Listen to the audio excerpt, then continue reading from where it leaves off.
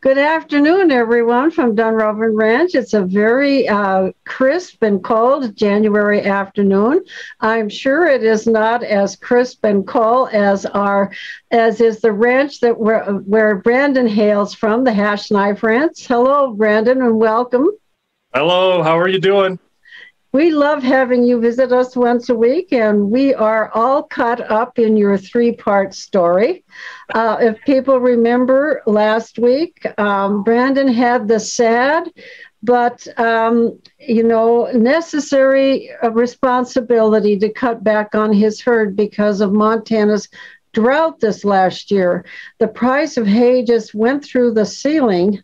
And even if you had the money, there was no hay to be bought. So it wasn't even just a matter of money, it was a matter of availability, which uh, made uh, made it uh, necessary for Brandon and his family to make some very difficult choices, and that cascades into another uh, another a bunch of events. Once you uh, cut the herd down and you're buying hay in a slightly different capacity in a different way, it causes more trouble, doesn't it, Brandon? Well, it's it sure precipitates some unseen things that you may or may not need to do. And when we when we uh, did that, and you're looking for hay, you're looking for the same thing you've always done, and you know what? Sometimes that's not available, and so something different happens, and then you go, "Oh, dang it, yeah. uh, this isn't going to work. Yeah. So you make it work. Yeah. You modify. Always you modify. Adapting. Always That's adapting. right. So, Brandon, with that, uh, I'm going to ask James to roll your video and then we can meet on the far side to see what it is that required adapting in this particular circumstance. Sounds good. Thank you.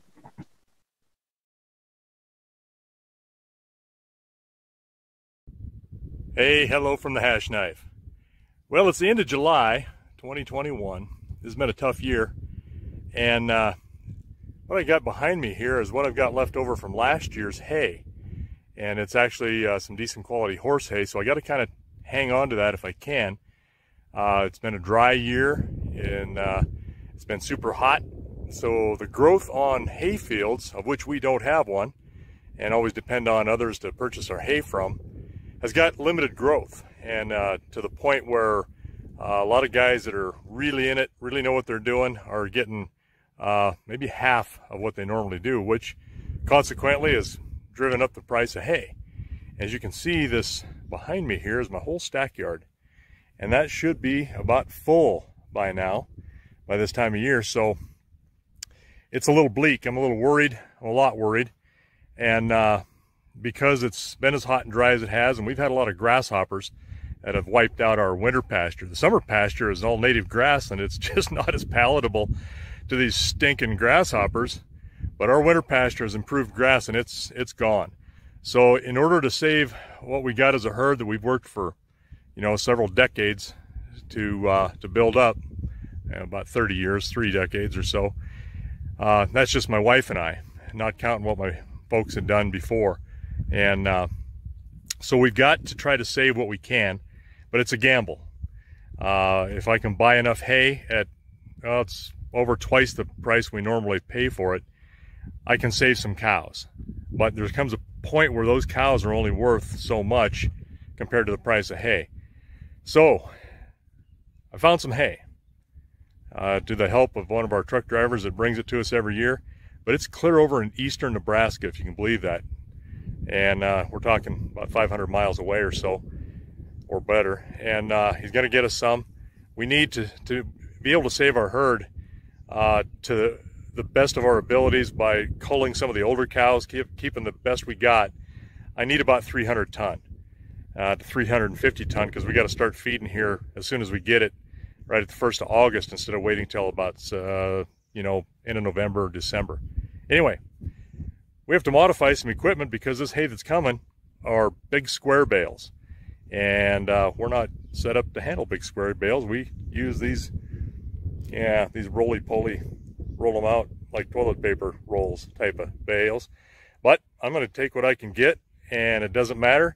We're going to use some scrap that we've got here and a couple of pieces of good iron that I bought and some spears that I'm going to build a, a deal to put on the tractor so we can spear these bales and and be able to handle them without breaking a bunch of twine and uh, actually be able to be efficient about it and be able to feed them off. So stay tuned for a bunch of cutting, grinding, welding, and cussing.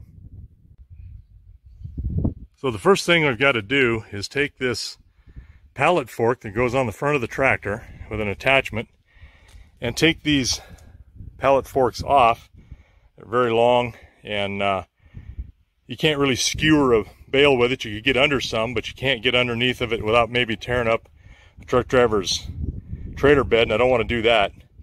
And it makes it so we can handle them later. So I'm going to take these two spears that I purchased, and I got some new channel and some new 2x4 inch uh, box steel.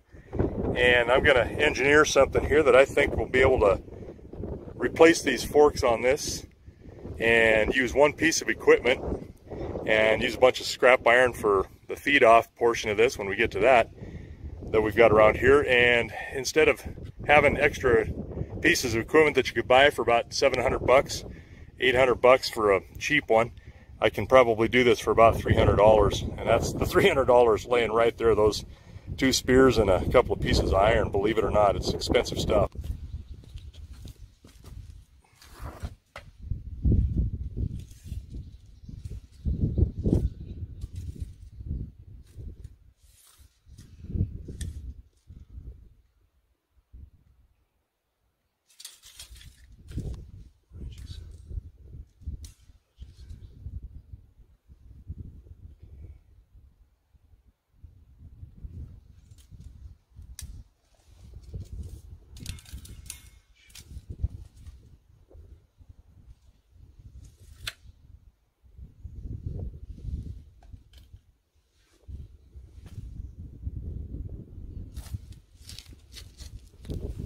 So the best thing to do is build your pattern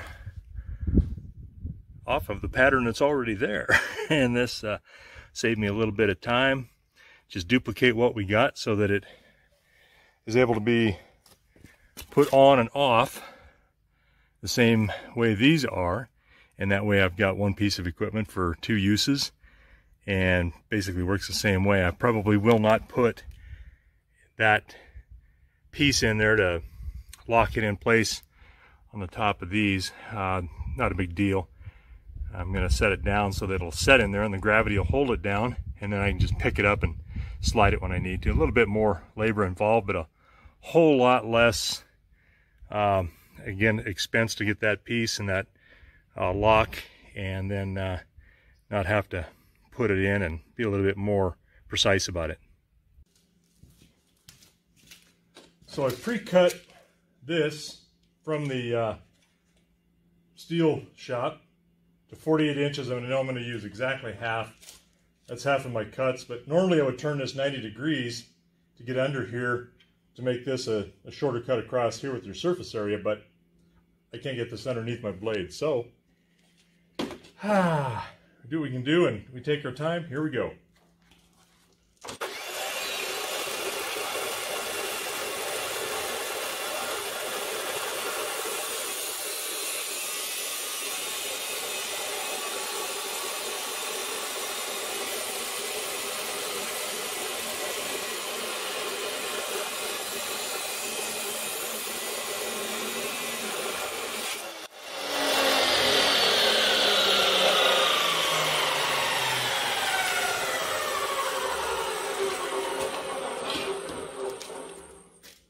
All right, two cuts. So I've measured the center holes here and I'm going to put a just a little bit of a divot here. Each one of these where they're centered so that I can start the drill and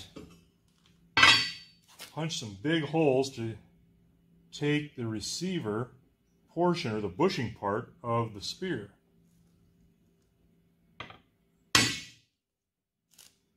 Yeah, I don't like that. That might have worked.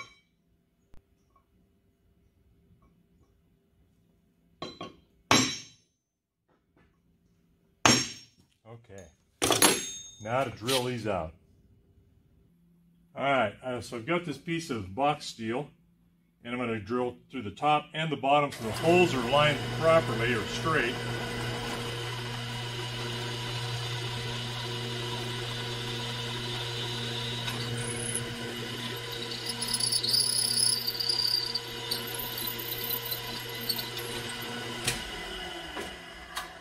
Pull up. And we've got a hole perfectly aligned. So, whatever we put in here now, when you do the hole saw, we'll be able to be much closer to a 90 degree angle to this. We hope. so now I got to put together a mount for the back of this. I've cut part of this off and I've left some relief here so that I can get this portion.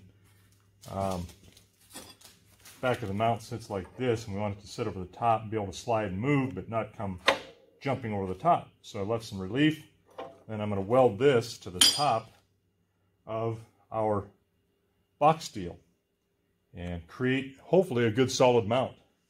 Well, hang on.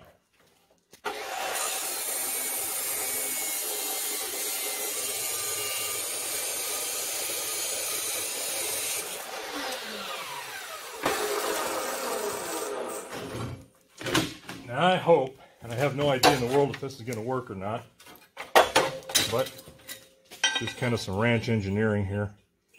I need to pull this back about like that. So that sits like that. And that plate comes up behind here and this just keeps it from tipping forward. So we'll get a couple of these made up and see if we can get them to stick with a hot iron and electricity. I've tack welded on the corners here for my top mount. And now I'm just going to kind of finish these welds up and do a, more of a custom fit.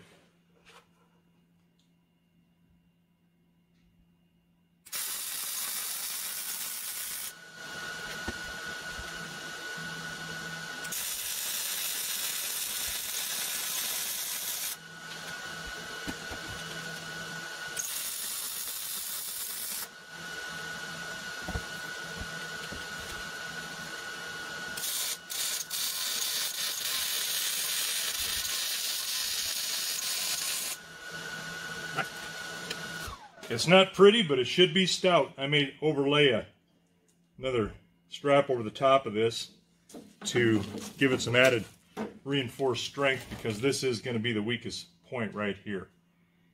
And we'll see what we can do. Make that stronger or even bring it this way and over the top. Get some stability in there somehow.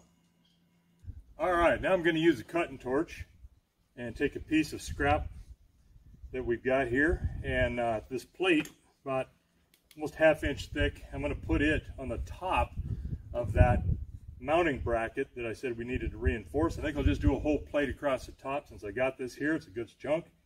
And uh, see if we can't make this thing really stout.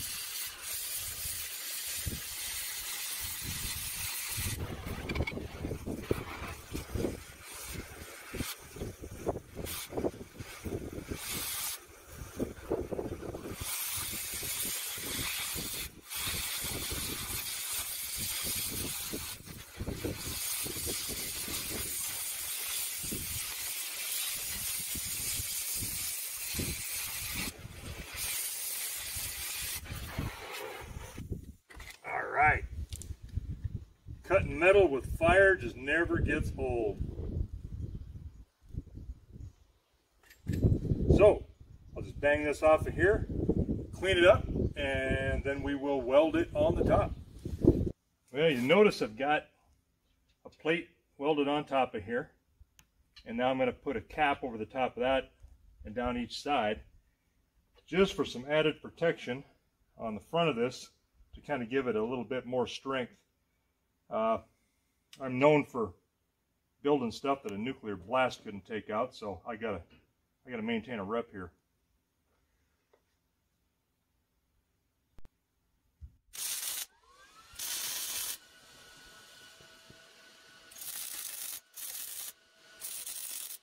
All right, on that.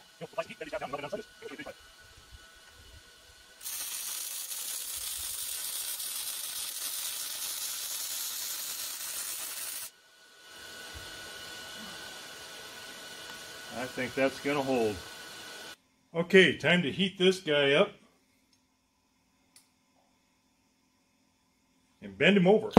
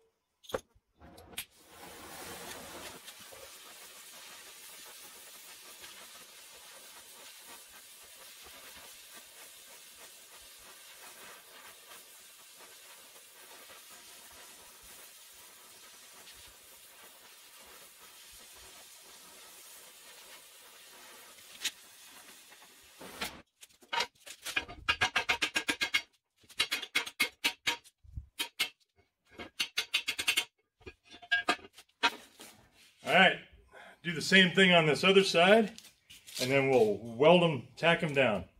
And we should be set for that one, and now to build the other one.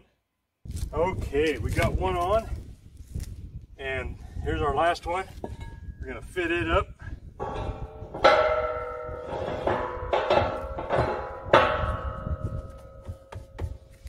Pretty tight tolerance here, what we want. We want it jumping around all the place.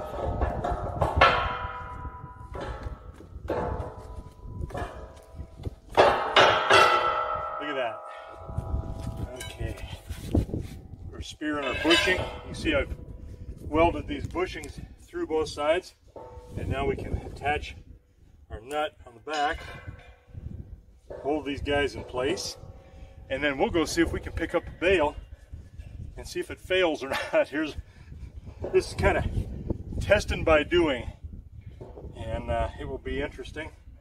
I think we're going to be good. Everything's solid. I'll hook it up on the tractor and see what it can do. So here we are, coming into the stack. Let us see just how good a job we did here. Fingers crossed.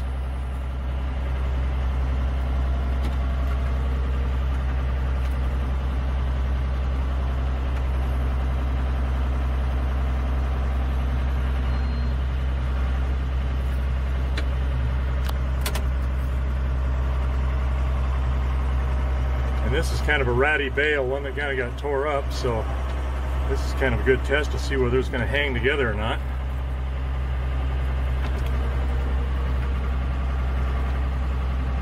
So far, so good.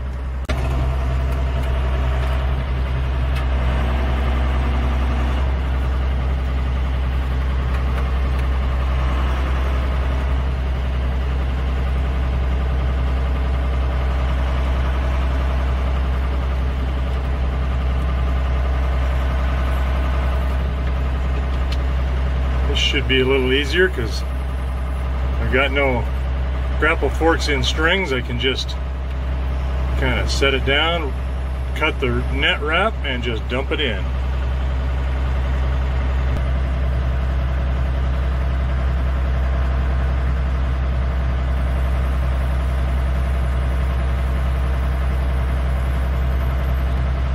Look at that. Nice. Like it when something works. Now, bring on that hay. Alright, we're going to try to take two at a time here. be a little bit more efficient. And that'll be a good test to see if this holds up.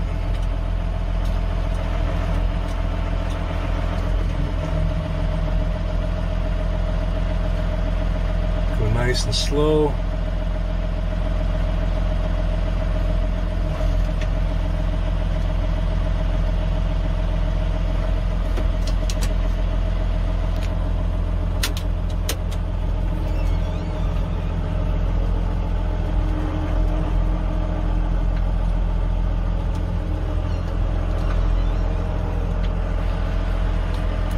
lot of weight, heavy. That's, these bales are about 1,400 pounds, I think.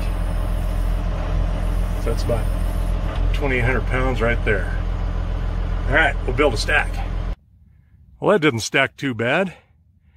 I uh, hurried up, got that unloaded so that man can get himself home. He hasn't been home for a while. He's driven two days, 1,200 miles just to get this hay to us. So It'll stack better than that stuff does, but it won't feed off as easy because we don't have a way to feed it off yet. So I'm going to have to now devise something and scratch the noodle a little bit to figure out how I'm going to make a Godivis to feed these off since uh, we don't have one store-bought.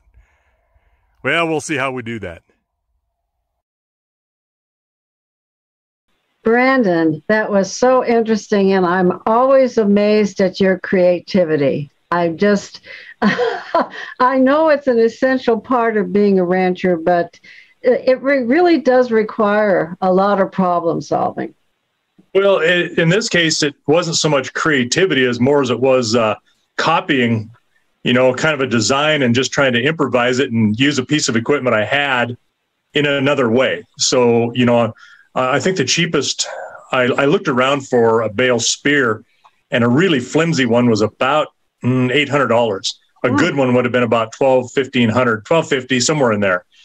So, you know, why have an extra piece of equipment laying around that you're not going to use all the time? Why not use one and change, you know, some of the things on it? So that was kind of my motivation, that and being cheap and, you know, trying to get the job done because, uh, you know, every, every dollar you spend on that unnecessarily yep. is money that is not going towards hay, and that's that's an issue. So um, the next, I think next week's we had to get a little bit more, a little more creative, and I really had to to uh, do some thinking on it. And you'll see that, but you'll notice when I was taking the measurements on that to begin with, the the light wisp of smoke that comes out of my ears when I'm thinking hard, you know. No, I'm I'm continually impressed at, at your problem solving abilities, uh, Brandon. And I had some questions about your shop and about the use of all of these various parts of, uh, of the equipment. This is uh, the second or third time that you've taken us into your shop. I mean, I remember you fashioning a door handle for your truck, and okay. and I wanted to kind of point out some of the variety of equipment that you have there and how often you use it. Could you talk about that? What are really the essential items in your shop? You know, the things I use the most, um, and they all kind of get used at the same time, depending on what you're doing. Like you saw in this this video, was a chop saw for a metal metal chop saw. Mm-hmm. Um, you know, of course, you've got tape measure. You can't do anything without the tape measure. I, you could use a piece of string you know, you could go old, old fashioned, old school right. and, and do something like that with some knots in it and, and get your measurements. But, uh, you know, your, your hand tools are essential. Um, with that chop saw with metal usually comes the use of a welder and a cutting torch, just like you saw, uh, a drill press, uh-huh. uh, you know, I mean, and it's, there's small things that you use that it's really hard to do without, like even a, a clamp or a pair of pliers, uh, lineman's pliers, um, you know, they're essential, especially when that metal's hot and uh, or really really sharp. You know, and you're trying to uh, get an extra set of hands there that you know if I was using my own hand or or my wife's hands, they can move where clamps don't move unless you you know mess them up. So there's some there's some handy things there that isn't just to be able to do it alone, but to be a- able to be accurate with things too. So Um, God, I've got to, you know, we should do that. I should clean that shop up so it doesn't look quite so bad, and then uh, take you on a tour sometime of all of the different things that we've got, you know, and and what you use and um, table saw for wood. We've got um, miter saw, compound sliding miter saw. You've got hand tools. You got hand planers. Got sander. Uh, you never know, you know, when you're going to need something. And the the toolbox alone is um, a big chest type one that uh, was mostly my dad's tools. And when we took the ranch over or bought it, um, you know, the tools came with it. So there's tools that my dad used when I was a little boy handing him tools. You know, so you know, it's there's some some old stuff. There's some of my great or my grandpa's tools in there. You know, they died, and you know, tools just they they show up. You know, they just kind of get dropped there, and so there's tons of stuff. I mean, I was using an an adze the other day just to kind of drag through the ice uh, to kind of break the ice up a little bit. You don't use that very often, but you know when it's there and it's handy, hey, go for it. Chainsaws, you name it. You know, I would really love to have you do that sometime. Take us through your shop, and I I really am curious about how old some of these tools are that have come down through the generation, including, I would assume, some of the large uh, uh, drill presses and, and things of that nature, because I have heard, although I don't have firsthand experience, that some of these tools that were made uh, 50, 60, 70 years ago have, have long durability. They just keep right on working, and there's really just no need to replace them. They do simple tasks, but they do them well. Yeah, no, that's right. And and sometimes the old uh, hand tools, for instance, there's a difference between drop forged hand tools and stamped hand tools. For instance, like your box end open end wrenches and a, a stamped hand tool will stretch, it'll it'll move a little bit, it'll it'll be softer, so it does not hold its uh, tolerance to get on like a, a nut or a bolt. Where a drop forged steel type of uh, wrench will hold. It's it's it's more brittle, it's more solid, it doesn't move as much. So even the quality of tools when you buy outright, you know, 70, like you say, years ago is you know their quality. They still, as long as you haven't abused them, they will still, um, you know, do their thing. So, and then of course there's a few tools. I I laugh sometimes. Like my my dad, my grandpa, uh, particularly my dad, is always modifying something.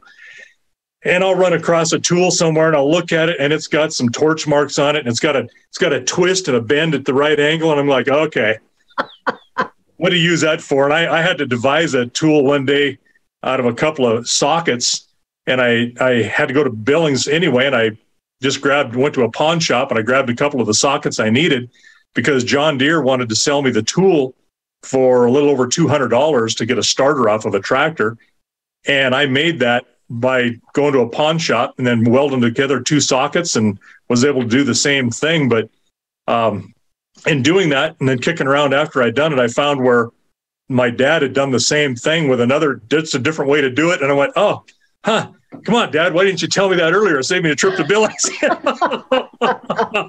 so it's funny how how you know things happen. I, I, there's got to be a little bit of genetics in there, you know, where if you're gonna if you're gonna try to modify something to beat the man, hey, all more power to you.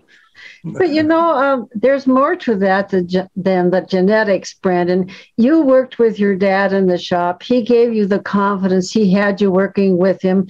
You uh, gained a lot of experience, and you watched. You watched him do this problem solving. And don't you think that that's just sort of part of what's passed on? Is both the attitude, the confidence that you know I can solve this problem, and then kind of the know-how. Yeah, there.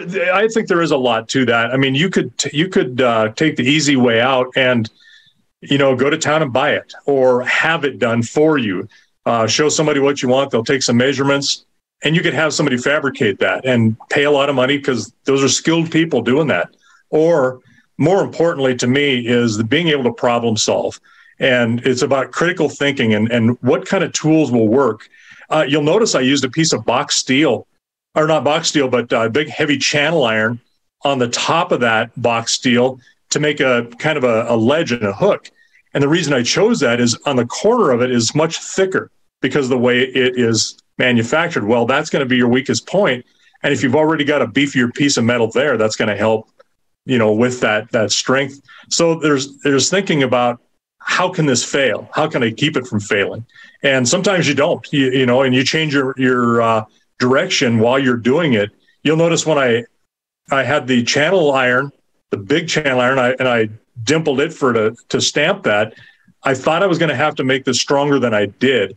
And uh, so I actually didn't put a piece of channel on the back of those square uh, tubing or, or, or square box steel because I didn't need it. So I modified it as I went along, and it worked perfectly with uh, not as much beefiness to it. And I and Lisa gives me a bad time constantly that when I build something, a nuclear blast is not going to take it down. Everything else will be leveled, but it'll be standing. So.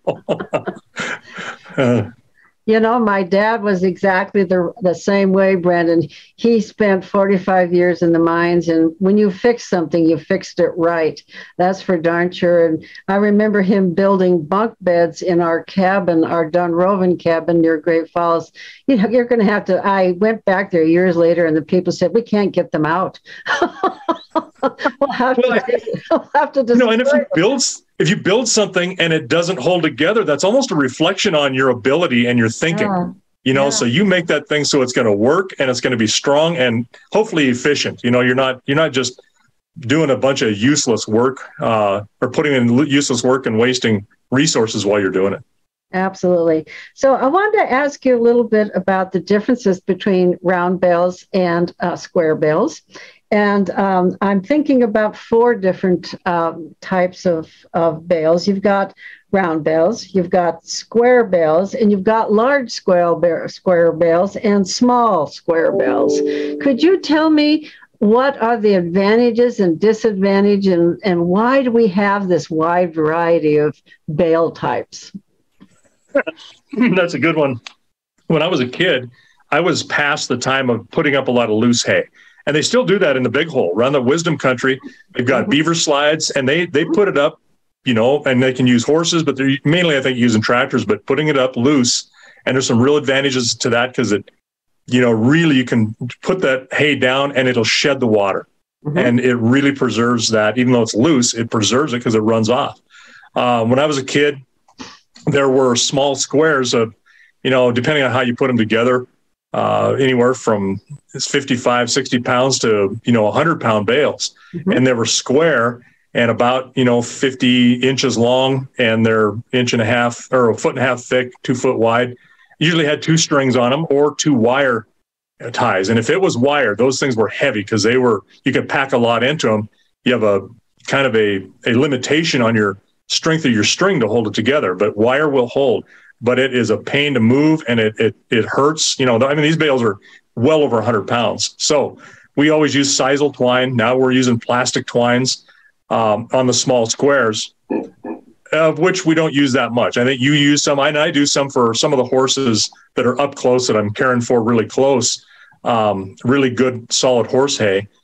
But when you're putting out a lot of hay, that's very inefficient to do that. And that's how we used to feed. I used to get up on the back of a pickup and kick one of those uh, bales off, grab another one. We we kick off, you know, three ton of hay of a of a morning or four ton of hay by hand with that method. And and you got to you learn how to have a big old wad of string in your hand and not lose it out in the pasture.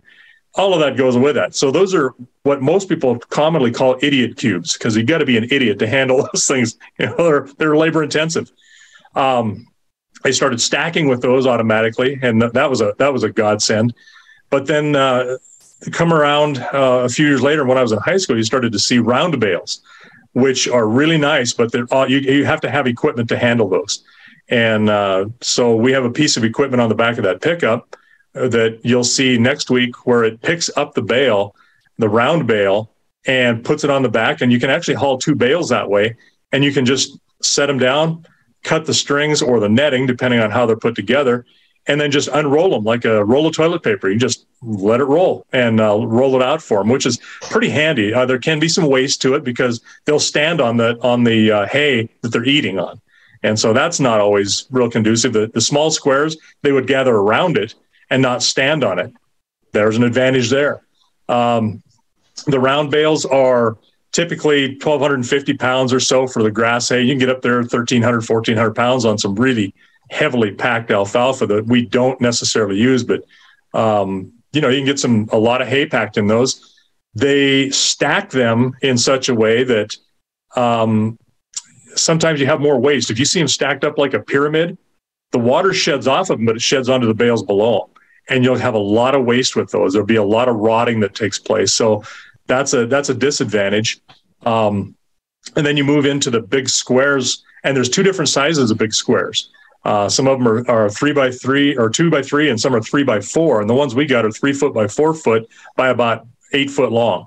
And so putting those up, same way you saw how we did it with the spear. I spear them and I set them down and you can stack those and they actually i'm finding they stack very very well i like to stack them like uh, you saw uh, and you'll you, you remember in the very beginning you saw a long tube of which looks like a big sausage roll of the round bales those bales are two years old now and you can actually pull those bales well a year and a half and you can pull those bales apart because i stacked them tight end to end and that grass is absolutely beautifully green so that's the best way to stack them, not in a pyramid, but laid out. Well, the big squares you can just stack on top of themselves and have less waste, but they're a pain to handle. It's all about how to do it. And a lot of people grind their feed. They'll throw those bales in, and grind them.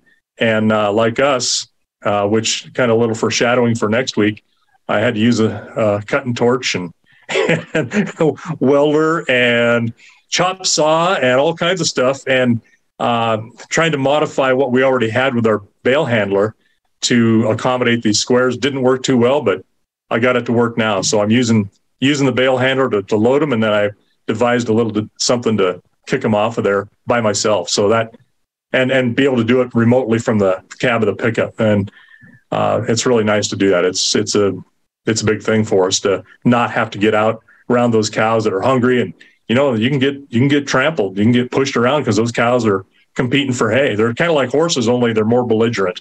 You know.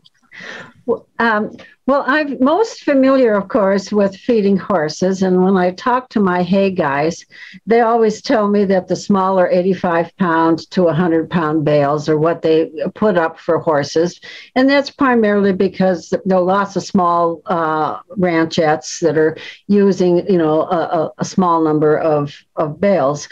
But for cattle, uh, what is the disadvantage of round versus square. I mean, your your producer in Nebraska uses uh, makes square bales. Is he targeting a specific market when he does that? You know, I I don't think so necessarily. It's just a, a better way to stack the hay and preserve it. It does stack better, and it and it does stay better. Uh, truck drivers like it because they can stack those straight up instead of having round bales mm-hmm. uh, and they and and being able to tie them down and get them to hold better. Um, anytime you're dealing with a square, it's much easier to handle than it is a, a round anything round, you know. Mm-hmm. So I, I, think that's a, a, main thing. But the uh, I think that maybe some of the disadvantage, and I've looked into it barely. Uh, the round bales are or balers are very very simple. They're they're kind of a neat thing where they just roll that you know, have a bunch of bands, like a bunch of rubber bands in a row, and it just rolls that hay up into a little, into a ball, into a uh, cylinder. Where the big squares are like the old square balers, the small ones, where they have a, a hammer that just comes in and it's called a plunger, and it just keeps packing it tighter and tighter in a chamber. And so um, I think there's a lot more moving parts to those, most likely. But um, again, I think it's more of the convenience of the stacking, the preservation of it, and then being able to handle it. You're handling it with equipment anyway, you know, handle it with equipment that you can really stack it up and, and do some good with it. Well, Brandon, as always, this is so fascinating. I really, really appreciate your sharing all of this with us. And frankly, I'm looking forward to part three because I, I want to know how this whole story uh, ends.